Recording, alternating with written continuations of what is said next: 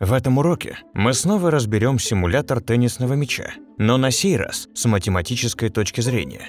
К концу темы вы узнаете все необходимое для создания своего симулятора теннисного мяча, и не только. Конкретнее, мы выведем формулы для трех вещей. Первое – опишем движение частиц под действием законов физики. Второе – научимся управлять соударениями частиц как со стенками резервуара, так и друг с другом – и третье – придумаем, как отслеживать положение частиц с течением времени. Начнем с движения частиц и разберем разные виды движения. Под движением мы понимаем изменение положения частицы со временем. Основы движения вы уже рассмотрели в уроке об анимации. Как вы помните, тогда мы анимировали мяч, указав разные положения в разные моменты времени, создав кадры, отмеченные внизу экрана. Если с каждым кадром сдвигать мяч на равные расстояния, покажется, что он катится без трения.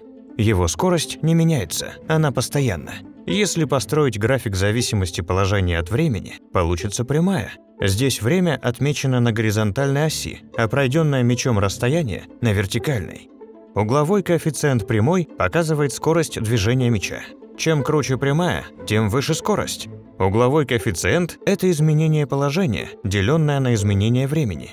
А что если построить зависимость скорости от времени? Если скорость не меняется, график выглядит вот так – горизонтальная прямая. Сложнее анимировать мяч, движущийся под действием гравитации. Для этого мы должны с каждым кадром увеличивать расстояние от предыдущего положения. Все потому, что падая, мяч ускоряется – Построив график положения, мы получим кривую. Ведь с каждым кадром мы меняем наклон прямой.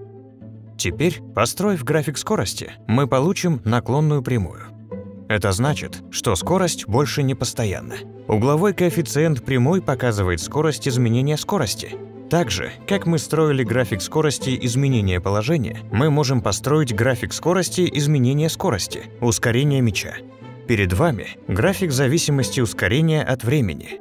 Он выглядит как горизонтальная прямая, значит ускорение не меняется.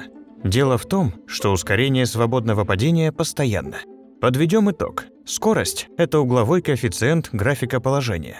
Аналогично, ускорение – это угловой коэффициент графика скорости. Иными словами, скорость – это изменение положения, деленное на изменение времени – а ускорение – это изменение скорости, деленное на изменение времени.